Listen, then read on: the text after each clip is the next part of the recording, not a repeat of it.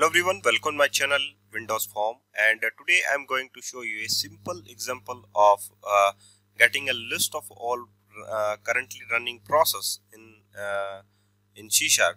So a commenter uh, asked me how to uh, do this. that is a list of all process currently running in Windows.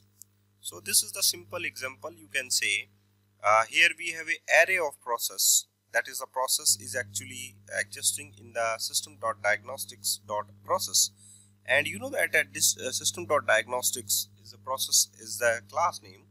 And here we have the array of the class. So uh, by using the get processes you just get all the process that is currently running in the windows. So here we have a list of the string and just I'm going to iterate all these process like that process P in the processes. Okay so uh, first of all check that is the window title.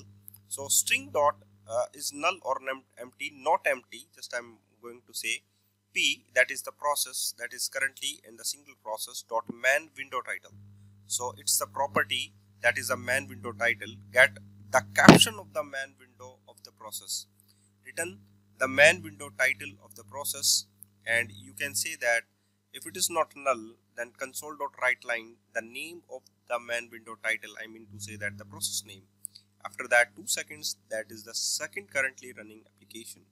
So uh, just I'm going to start it uh, on the console and you will get all the currently running process in the same. So here we have a inbox one tarun at the outlook.com mail settings windows input experience mail tutor finder pptx channel analytics youtube studio like that so just i'm going to say that these are all currently running process in the system. So uh, thank you guys for watching this video and keep watching all other videos which is related to c sharp. Thank you very much